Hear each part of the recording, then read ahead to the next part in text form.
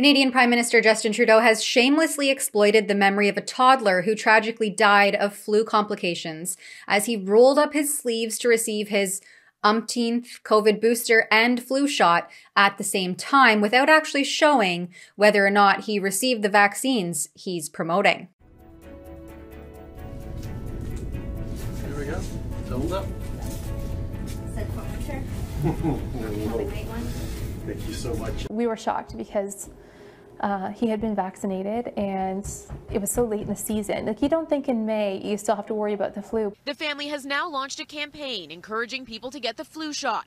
Even though it did not work for them, they feel if more people were vaccinated, Jude may not have gotten sick. While his shot failed him, if more people around him had had their shots, then it may have been more effective in their bodies. Remember Prime Minister Justin Trudeau's strategic campaign during the 2021 snap election, where he exploited Canadians' personal medical decisions, creating a divisive wedge issue between those who exercised their autonomy and those who succumbed to powerful mind control tactics to nudge along their compliance? The best way to get through this pandemic is for everyone to get fully vaccinated. That's why every time I'm at a microphone uh, during this campaign and beyond, I will continue to tell people to go get vaccinated if you haven't already.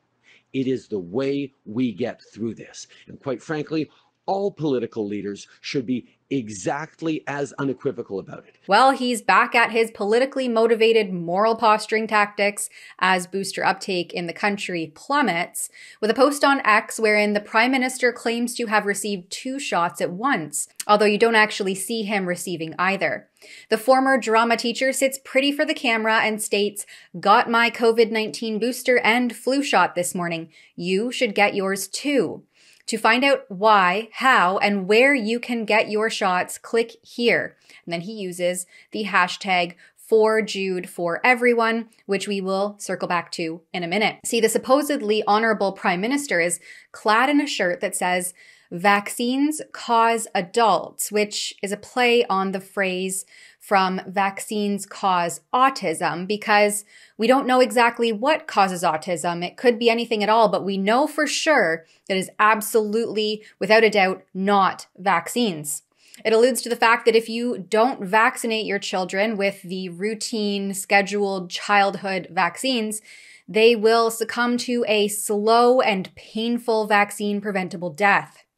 That is up for debate, of course, if you ask research scientist Dr. Brian Hooker, who worked alongside the CDC's whistleblower, Dr. William Thompson, who had access to the US Centers for Disease Control, that's the CDC, their private database called the Vaccine Safety Data Link, which holds the vaccine records of over 10 million Americans. Nonetheless, how would COVID 19 vaccine injured Canadians feel seeing this dehumanizing post by our Prime Minister? The same Canadians who cannot even get their injury documented or adequately diagnosed. And what about that hashtag for Jude for everyone? Well, it's a hashtag used by an X account for Jude for everyone, highlighting the story of Jude as advocated for and managed by his mother, Jill Promoli. She's a Mississauga based photographer and now school board trustee who promotes vaccines through public health advocacy and has political aspirations with the Liberals.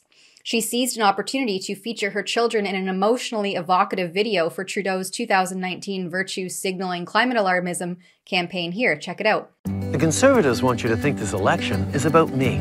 I think it's about you. This is your country and your choice. Build on a serious climate plan or leave the problem to us. All right, but back to this hashtag. See, it came about after the profoundly devastating and heart wrenching loss of Promoli's two year old son, Jude, who tragically passed away in 2016 following complications of influenza B, the flu, as determined by a pathologist. Now, I send my deepest sympathies and condolences to anyone who has lost a child, but the subsequent advocacy work by Promoli leaves more questions than answers once you begin to dig beneath the surface. You see news articles at that time in 2016 clearly state that Jude was vaccinated against the flu, and his mother asserts that he only became infected with the virus after his fully vaccinated school attending sibling brought the flu home. He was a happy, healthy, joyful little boy. On the morning of May 6, he had a low grade fever, but otherwise seemed fine when his mother Jill put him and his twin brother down for a nap. She went to get him from his nap. He would not wake up.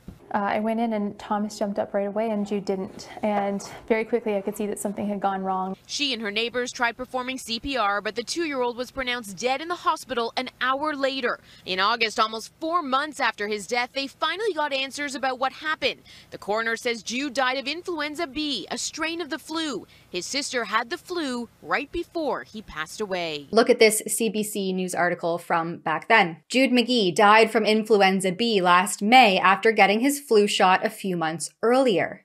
Doctors confirmed that Jude had died from a strain of influenza B. The news shocked and confused Promoli, especially because Jude had the flu shot the previous December. That particular flu shot covered four strains of influenza, including the strain Jude contracted. So now Promoli advocates for everyone to receive the flu shot, even though it didn't do anything to prevent her son's tragic passing or the transmission to him.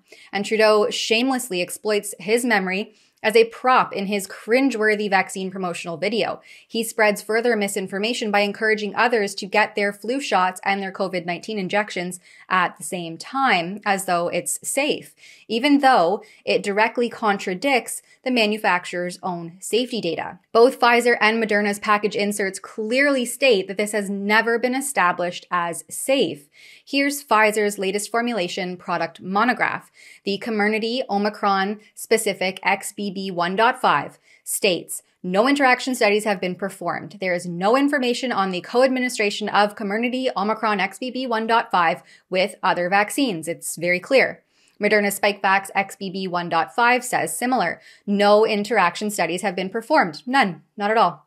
I've covered this in depth in recent months, and what I found was that Canada's National Advisory Committee on Immunization, that's NACI, based the concurrent administration recommendation off of, and I quote, operational and logistical reasons, end quote, because, quote, concurrent administration of any dose of a COVID 19 vaccine with other vaccines has the potential to increase program efficiency and may also increase vaccine coverage, end quote. Now, the exploitative actions of Trudeau, who never misses a beat for a good photo op, reveals a concerning pattern of capitalizing on sensitive situations to gain political traction. For Rebel News, I'm Tamara Ugolini. The safety and efficacy of COVID-19 injections remains ongoing in phase 2 slash 3 clinical trials, which is why we're sending an email to Minister Mark Holland to revoke market authorization for such an unknown and potentially dangerous and risky shot. That can be found at nomoreshots.ca. There you can sign our petition, stay up to date with our reporting, and support this kind of independent journalism if you're able to at nomoreshots.ca.